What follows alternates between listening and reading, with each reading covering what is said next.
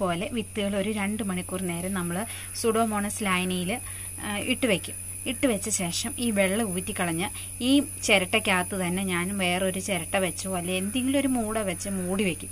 അതിനുശേഷം രാവിലെ നോക്കുമ്പോൾ തീർച്ചയായിട്ടും മുള പൊട്ടിയിട്ടുണ്ടാകും. അപ്പോൾ ആ അതിനെയാണ് ഞാൻ ഒന്നുകിൽ ഡയറക്റ്റ് നിലത്ത് നടാനായാലും അല്ലെങ്കിൽ ഗ്രോ ബാഗിലോ ഒക്കെ നടാനായിട്ട് വിനിയോഗിക്കാറുള്ളത് ഇല്ല എങ്കിൽ നമുക്ക് ഇതുപോലെ ഈ ലായനിയിൽ ഇട്ട് വെച്ച ശേഷം ചെറിയ ചെറിയ ഡിസ്പോസിബിൾ ഗ്ലാസ്സുകളുണ്ടല്ലോ അതിനകത്ത് നമുക്ക് നട്ടുവെച്ച് ചകിരിച്ചോറൊക്കെ നിറച്ച് അതിനകത്ത് നട്ടുവെക്കുകയാണെങ്കിൽ ഒരു രണ്ട് മൂന്ന് ദിവസത്തിനുള്ളിൽ ഉറപ്പായിട്ടും ഇത് മുളച്ച് പൊന്തി വരാൻ തുടങ്ങും.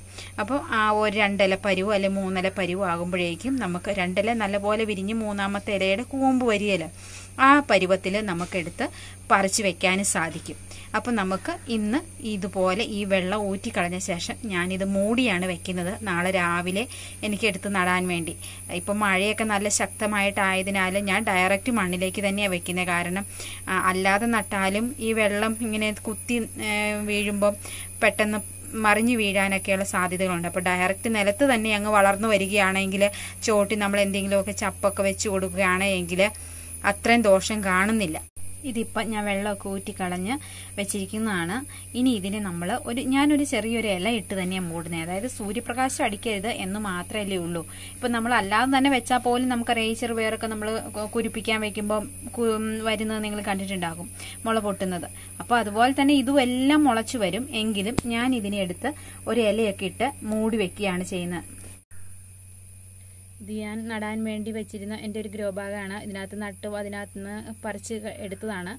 ഇപ്പം ഞാൻ ഇതിനകത്തേക്കാണ് ഈ ചിരട്ട വെച്ച് കൊടുത്തിട്ടുള്ളത്. അതിന് മുകളിലേക്ക് ഒരു കഷ്ണം ഇല വെച്ച് ഒന്ന് മൂടി വെക്കുകയാണ്. നാളെ രാവിലെ വന്ന് അതിന് ശേഷം എടുത്ത് നടാൻ വേണ്ടി. അതുപോലെ നമ്മൾ വെച്ചിരുന്ന വിത്ത് മുളച്ച് വന്നപ്പോൾ നമ്മൾ സാധാരണ ഒരുക്കിയിട്ടിരുന്ന മണ്ണിൽ നട്ടിരിക്കുന്നതാണ് കണ്ടത്. മൂന്നിലെ പരുവമായത്. ഇതുപോലെ തൈകൾ നടാൻ ഞാൻ എപ്പോഴും തിരഞ്ഞെടുക്കുന്ന തുറസായ സ്ഥലങ്ങളാണ് അതിനുള്ള കാരണം എന്താണെന്നുള്ളത് ഞാൻ ഏറ്റവും അവസാനം വിശദമായി തന്നെ പറഞ്ഞു തരാം. നമുക്ക് കാഴ്ച കിടക്കുന്ന പലതരം കായകൾ പല വലിപ്പത്തിലുള്ളവയുണ്ട്. ഞാൻ കാണിച്ചു തരാം. ഇത് കണ്ടോ? ഈ പരുവത്തിൽ സാലഡ് കുക്കുംബർ നമ്മുടെ ആയിട്ടുണ്ട്. ഇത് ശരിക്കും ഒറിജിനൽ നമ്മൾ സാലഡ് കുക്കുംബർ എന്ന് പറഞ്ഞ് വാങ്ങുന്ന അതല്ല കേട്ടോ. ഇതിൽ കണ്ടോ? ഇതുപോലെ ചെറിയ മുള്ളുകളൊക്കെയുള്ള ചെറിയ വെള്ളരി. അത് സാലഡ് തന്നെ വെള്ളരി തന്നെയാണ്. പക്ഷെ വ്യത്യാസമുണ്ടെന്ന് മാത്രം. പലതരം സാലഡ് കുക്കുംബേഴ്സ് ഉണ്ടല്ലോ. ഇതുപോലെ നമ്മൾക്കറിയാം ഈ മുള്ളൊന്നും ഇല്ലാത്ത തരത്തിലുള്ളത് ഒക്കെയുണ്ട്. ഇത് കണ്ടോ? ഇതിൽ ആൺപൂവും പെൺപൂവും. ഇത് ആ പെൺപൂവാണ്. ഇതിൽ കാ കണ്ടോ? ഈ കായോട് കൂടിയതും ഇത് ആൺപൂവ്. ഇത്. അപ്പം നമുക്ക് പരാഗണം നടത്തി കൊടുക്കേണ്ടവർക്ക് ഈ പൂ വിരിയുന്നൊപ്പം ഇതുപോലെ തന്നെ ഇത് കണ്ടോ? ഇതിന്റെ തുമ്പറ്റം വരെയും കായ്പൂവും ആൺപൂവും പെൺപൂവാണ് ഇത് കണ്ടോ? ഇത് പെൺപൂവാണ് ഇത് ആൺപൂവാണ്. അപ്പോൾ ഒന്നിടവിട്ട് ഇങ്ങനെ ആൺപൂവ് പെൺപൂവ് അങ്ങനെ ഉണ്ടാവും.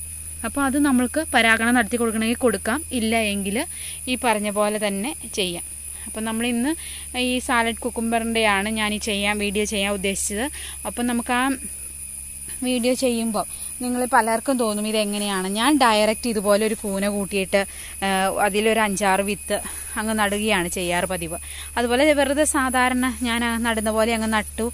ഈ മഴക്കാലമൊക്കെ ആയതുകൊണ്ട് നല്ല സൂര്യപ്രകാശമൊക്കെ ഉണ്ടെങ്കിൽ നല്ല പോലെ കായകൾ വിരിയുന്ന വിരിയുന്ന ഫുള്ള് പിടിക്കത്തുള്ളൂ. ഇല്ലെങ്കിൽ കുറച്ചൊക്കെ നമുക്ക് നഷ്ടപ്പെടും. എങ്കിലും കുഴപ്പമില്ല. നമുക്ക് അത്യാവശ്യം കായകൾ കിട്ടും. ഇപ്പം ഓരോ മുട്ടിലും അത് ഒന്നിടവിട്ട മുട്ടുകൾ ആണ് പെണ്ണുമായിട്ട് വരുന്നുണ്ട്. നമുക്കിവിടെയൊക്കെ ഉണ്ട്. ഇതിലെല്ലാം ഈ പുല്ല്. പിന്നെ പലരും എന്നോട് ചോദിച്ചു ഇങ്ങനെ മണ്ണിൽ ഇത് കണ്ടോ? ഒക്കെ ആയിട്ട് ഇങ്ങനെ ഇരിക്കുമ്പം കേടായി പോകില്ലേ? അല്ലെങ്കിൽ പലർക്കും പല സംശയങ്ങളാണ് ഇങ്ങനെയൊക്കെ കടന്നു കഴിഞ്ഞാൽ കായ്ക്കുവോ? അങ്ങനെയൊക്കെ പലർക്കും സംശയങ്ങളുണ്ടാകാം. ഉണ്ട് ഇതിലെല്ലാം കിടപ്പുണ്ട്. നമുക്ക് കാണുമ്പോൾ അറിയാം. നിങ്ങൾക്ക് കാണാൻ സാധിക്കും.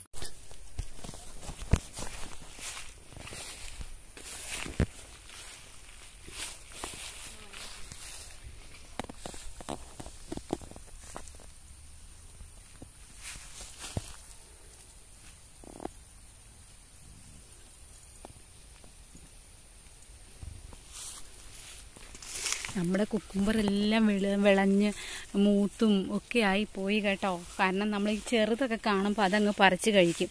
അത് കഴിഞ്ഞ് കഴിഞ്ഞാൽ ഈ മൂത്തതൊക്കെ മിക്കവാറും നമ്മൾ കറി വെക്കാനൊക്കെ ഉള്ള ഉദ്ദേശത്താൽ കുറച്ചുകൂടി മൂക്കട്ടെ എന്ന് കരുതിയൊക്കെ ഇട്ടുകൊണ്ടിരിക്കും കാരണം കറി വെക്കുന്നത് നമുക്കറിയാം ഈ വെള്ളരിക്കായ അല്ല എന്ന് നമുക്കറിയാം. എങ്കിലും ഇത് വയ്ക്കുമ്പോൾ എല്ലാവർക്കും ഭയങ്കര ഇഷ്ടമായതുകൊണ്ട് നമ്മൾ മിക്കവാറും ഇത് മൂക്കാൻ വേണ്ടി ഇടും. അപ്പോൾ അങ്ങനെ ഇട്ട് കൂടുതലും പഴുത്തൊക്കെ കിടപ്പുണ്ട്. പിന്നെ നമുക്ക് അല്ലാതെ കഴിക്കാൻ പാകത്തിലുള്ളതും ഉണ്ട് ഇത് കണ്ടോ? മൂടിയിട്ടിരുന്ന. പിന്നെ വിത്തിനെടുക്കുക എന്നുള്ള ഉദ്ദേശത്തിൽ അങ്ങനെ ഒരെണ്ണിട്ടിരുന്നു പിന്നെ ഇതൊക്കെ നമ്മുടെ സാലഡ് വെള്ളരി പോലെ തന്നെ കറക്റ്റ് പാകമായിരിക്കുന്നത് കണ്ടോ? നല്ല പാകത്തിലിരിക്കുന്ന വെള്ളരിക്കായി ഉണ്ട് കേട്ടോ. അപ്പോൾ നമ്മൾ നിങ്ങൾക്കറിയാം സാലഡ് കുക്കുംബർ എന്ന് പറയുമ്പോൾ അതേൽ മുള്ളൊന്നുമില്ല. നമ്മുടെ ഇതേലൊക്കെ ആകുമ്പം നിറച്ച് മുള്ളൊക്കെ ഉണ്ട് ചെറുതായിട്ടും. പിന്നെ ഇടയ്ക്കൊക്കെ ഓരോ ഈച്ചയൊക്കെ കൊത്തിയിട്ടൊക്കെ ഉണ്ട് കേട്ടോ. ഇത് കണ്ടോ? ഈ കിടക്കുന്നതൊക്കെ അങ്ങനെ കുരുടൊക്കെ ആയി പോയിട്ടൊക്കെ ഉണ്ട്. അങ്ങനെയൊക്കെ ആയിട്ട് കുഴപ്പമില്ല. എന്നാലും നമ്മുടെ കൃഷി എന്ന് പറയുമ്പം മത്തനായാലും അത്യാവശ്യം കായൊക്കെ ഉണ്ടായി തുടങ്ങിയിട്ടുണ്ട്. അതുപോലെ തന്നെ വെള്ളരിയായാലും കായുണ്ട്. അപ്പോൾ നമുക്കിതിന്റെ വിളവെടുപ്പാണ് ഇന്ന് നമ്മൾ ഇതുകൊണ്ട് ഉദ്ദേശിക്കുന്നത്. അപ്പോൾ നമുക്കിതിന്റെ വിളവെടുക്കാം അല്ലേ? മത്ത കൃഷിയിൽ ഇത് പെൺപൂവാണ് നമ്മൾ ഈ കാണുന്നത്. കണ്ടോ പെൺപൂവിന്റെ വ്യത്യാസം എന്തെന്ന് കാണിച്ചു തരാം. ഇതാണ് പരാഗണം നടക്കുന്നത്. നമ്മുടെ ഇതുപോലെ തേനീച്ചകളൊക്കെ വരുമ്പോഴാണ് നമ്മൾ പറയാറുണ്ട്. കണ്ടോ അതുപോലെ തന്നെ ആൺപൂവും അന്നേ ദിവസം തന്നെ വിരിയുകയാണ് എങ്കിൽ തീർച്ചയായിട്ടും ആ വിരിഞ്ഞിരിക്കുന്ന പെൺപൂവ് അതായത് നമ്മുടെ കാപ്പൂവ് പിടിക്കും. അതായത് ഇതുപോലെ ആണ് ആൺപൂവ് വിരിയുക. അപ്പോൾ അതിനകത്തും തേനീച്ചകൾ ഇരിക്കുന്നത് നിങ്ങൾക്ക് കാണാൻ സാധിക്കും. അപ്പോൾ തീർച്ചയായിട്ടും ആ വിരിയുന്ന പൂക്കൾ എല്ലാം പിടിക്കാനുള്ള സാധ്യത കൂടുതലാണ്. ആൺപൂ ഇല്ല എങ്കിൽ പെൺപൂ വിരിഞ്ഞാലും പിടിക്കുകയില്ല. നമുക്ക് നമ്മുടെ വെള്ളരിയുടെ വിളവെടുക്കാം. ഇത് നമ്മൾ ഞാൻ പറഞ്ഞു വിത്തിന് പാകത്തിനും അതുപോലെ തന്നെ നമുക്ക് കറി വെക്കുക എന്നുള്ള ഉദ്ദേശത്തിലും ഒക്കെ ആയിട്ട് നമ്മൾ പല വിധത്തിലാണ് നമ്മൾ പല പാകത്തിലുള്ളതാണ് നമ്മൾ പറിക്കുന്നത് കേട്ടോ. അപ്പം നിങ്ങൾക്ക് കാണാം. ഇതൊന്ന് നമുക്ക് ഓരോന്നോരോന്നായിട്ട് എടുക്കാം. അതുപോലെ തന്നെ ഇത് ഞാൻ വിത്തിനിട്ടിരുന്നതായിരുന്നു. അതും നല്ലപോലെ പാകത്തിലായിട്ടുണ്ട് കണ്ടോ? അപ്പോൾ രണ്ടെണ്ണമായി. ഇനി നമുക്ക് എല്ലാവർക്കും അറിയാം സാലഡ് കുക്കുംബർ എന്ന് പറഞ്ഞ് എല്ലാവർക്കും ഒരുപാട് ഇഷ്ടമുള്ള സാധനമാണ്. അപ്പം ആ പരുവത്തിലുള്ള ഒരെണ്ണം നമുക്ക് കിട്ടിയിട്ടുണ്ട്.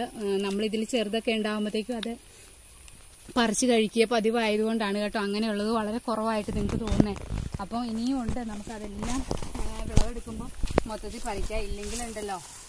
ഇതെല്ലാം പെട്ടെന്ന് അങ്ങ് മൂത്ത് പോകും. ഇപ്പോൾ പോരാത്തതിന് ഇത്തിരി വെയിലൊക്കെ അല്ലേ അപ്പം നമുക്ക് അതെല്ലാം പാകത്തിലായത് പറിച്ചെടുക്കാം. അടുത്ത ഒരെണ്ണം കൂടി ഇവിടെയുണ്ട്. അതും നമുക്ക് പറിക്കാം.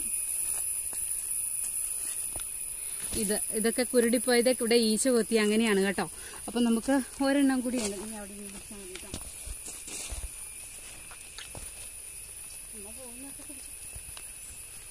അപ്പം നമുക്ക് ഇവിടെയുണ്ട്.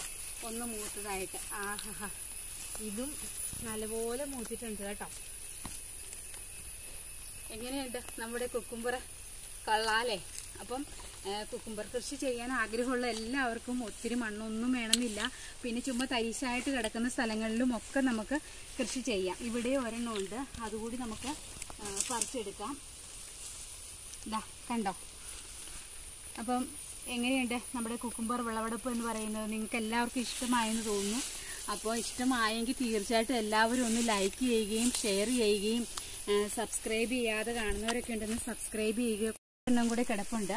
അതിനെ കൂടെ നമുക്കൊന്ന് പൊക്കിയെടുക്കാം വിളവെടുക്കാം. ആഹാ ഇത് കണ്ടോ? അപ്പോൾ നമുക്ക് നമ്മുടെ കുക്കുംബർ കൃഷിയുടെ മൊത്തത്തിലുള്ള ഒരു വിളവെടുപ്പ് വിളവെടുപ്പ് എന്ന് പറഞ്ഞു കഴിഞ്ഞാൽ എങ്ങനെയുണ്ടെന്നൊന്ന് നമുക്ക് നോക്കാം. ഇതാണ് നമ്മുടെ കുക്കുംബർ കയറി കിടക്കണം ഇതിന്റെ തണ്ടയിലൊന്നും ചവിട്ടരുത്. പൊട്ടിപ്പോയി കഴിഞ്ഞു കഴിഞ്ഞാൽ പിന്നെ പെട്ടെന്ന് പോകാനുള്ള സാധ്യത ഉള്ളത് കൊണ്ട് നമ്മൾ തണ്ടയിലൊന്നും ചവിട്ടാതെയാണ് കേട്ടോ എടുത്തിരിക്കുന്നത് അപ്പം നമുക്ക് കിട്ടിയ മൊത്തത്തിൽ വിളവുമായിട്ടാണ് വന്നിരിക്കുന്നത്. ഇത് കണ്ടോ? നമ്മുടെ കുക്കുംബർ കൃഷിയുടെ വിളവെടുപ്പായിരുന്നു ഇന്ന്. അപ്പം നമ്മൾ ഇടയ്ക്കൊക്കെ ചെറുതൊക്കെ കാണുന്നൊക്കെ ഇത് ഈ പരുവത്തിലൊക്കെ പറിച്ച് കഴിക്കാറൊക്കെ ഉണ്ട് കേട്ടോ. എങ്കിലും ഇന്ന് നിങ്ങൾക്ക് വേണ്ടി ഞാനൊന്ന് വിളവെടുത്ത ഇതുകൊണ്ടോ എന്തോരം നമുക്ക് കിട്ടിയ സന്തോഷമായി എനിക്കും എന്നെ പോലെ തന്നെ നിങ്ങൾക്ക് സന്തോഷമായി കാണുമായിരിക്കുമല്ലോ. ഇത് കറിവെക്കാൻ പാകത്തിന് ഇത് നമുക്ക് വിത്തിന് അങ്ങനെ ഓരോന്നും തരം തിരിച്ചാണ് ഞാനിത് വിളവെടുത്തത്. അപ്പം ഇതിനകത്ത് ചെറുതൊക്കെ ഈച്ച കൊത്തിയൊക്കെ പോയിട്ടുണ്ട് കേട്ടോ. പിന്നെ ഈ വെയിൽ നല്ലപോലെ തെളിഞ്ഞപ്പോഴാണ് നമ്മുടെ ഈ കുക്കുമ്പറയിൽ നല്ലപോലെ കായകൾ പിടിക്കാൻ തുടങ്ങിയത്. അതുവരെ ഉണ്ടാകും ആൺപൂവും പെൺപൂവും ഉണ്ടാകുമെങ്കിലും കൂടുതലും പൊഴിഞ്ഞൊക്കെ പോവുകയായിരുന്നു പതിവ്. അപ്പം ഇപ്പോൾ ഈ വെയിൽ നല്ലപോലെ കിട്ടിയപ്പോൾ നമുക്ക് നല്ലപോലെ കായ്കളും കിട്ടാൻ തുടങ്ങിയിട്ടുണ്ട്. അപ്പം നിങ്ങൾക്ക് എല്ലാവർക്കും ഇഷ്ടമായെന്ന് തോന്നും എങ്കിൽ തീർച്ചയായിട്ടും ഈ വീഡിയോ ഒന്ന് കാണുകയും ലൈക്ക് ചെയ്യുകയും ഷെയർ ചെയ്യുകയും സബ്സ്ക്രൈബ് ചെയ്യാതെ കാണുന്നവരൊക്കെ ഒന്ന് സബ്സ്ക്രൈബ് ചെയ്ത് നമ്മളെ സപ്പോർട്ട് ചെയ്യുകയും ചെയ്യും ഒന്നാമത്തെ കാര്യം ഞാൻ പറയാം. നമുക്ക് വെള്ളരി കൃഷി എവിടെയും ചെയ്യാം. ഗ്രോ ബാഗിലായിക്കോട്ടെ അതുപോലെ തന്നെ തുറസായ സ്ഥലങ്ങളിൽ നിലത്തായിക്കോട്ടെ. എവിടെ വേണമെങ്കിലും നല്ല പോലെ ചെയ്യാം. രണ്ടാമത്തെ കാര്യമെന്ന് പറയുന്നത് നമുക്ക് അധികം പരിചരണത്തിന്റെ ആവശ്യമില്ല. സാധാരണ നമ്മൾ ചെയ്യുന്ന ജൈവവളങ്ങൾ മാത്രം മതിയാകും. ഇത് നമ്മുടെ എന്താ പറയുക നമ്മളെല്ലാവരും സാലഡ് കുക്കുംബർ എന്ന് പറഞ്ഞാൽ അരിഞ്ഞ് കഴിക്കാറുണ്ടല്ലോ. അപ്പോൾ അതേ പരുവത്തിലുള്ളതാണ് ഇത് അതിലും അല്പം കൂടി നമുക്ക് വലിപ്പത്തിൽ ഉള്ളതാണ് ഇത്. അപ്പോൾ നിങ്ങൾക്ക് എല്ലാവർക്കും അറിയാം നമുക്ക് ഏത് പരുവത്തിലുള്ളതായാലും നമുക്ക് കഴിക്കാനുള്ളത് തന്നെ. പക്ഷേ ടേസ്റ്റിൽ ഇതിലെല്ലാം വ്യത്യാസം ഉണ്ടാവും ഇതിലൊക്കെ ആകുമ്പോൾ നമുക്ക് അല്പം ഒരു കടിക്കുന്ന പരുവായി കാണും. ഇതിലാവുമ്പോൾ ആ പരുവ് അല്ല താനും. അപ്പം പിള്ളേർക്കൊക്കെ ആണെങ്കിൽ ഇങ്ങനെ ഇറങ്ങി നടക്കുമ്പോൾ ചെറുതായിട്ട് നിൽക്കുമ്പോൾ അവർ പറിച്ച് കഴിക്കുക. അവർക്ക് വളരെ ഇഷ്ടമുള്ള കാര്യം. അപ്പോൾ ഈ പരുവത്തിലുള്ളതായിരിക്കും അവർ വിളവെടുക്കുക. നമ്മളാകുമ്പോൾ ഈ പരുവത്തിലുള്ളത് ആയ ഒഴിഞ്ഞ സ്ഥലങ്ങളിലാകുമ്പോൾ നമ്മൾ അതിനുവേണ്ടി പ്രത്യേകം ഒരു പന്തലോ വേറെ കരുതലുകളുടെ ഒന്നിന്റെ ആവശ്യകതയില്ല. അതങ്ങ് പടർന്നു പോയിക്കോളും. അതുപോലെ ഈച്ച ശല്യവും കുറഞ്ഞിരിക്കും. ഇനി എന്നാൽ നമുക്കെല്ലാവർക്കും ഒന്ന് വെള്ളരി കൃഷി ചെയ്തു നോക്കാം അല്ലേ?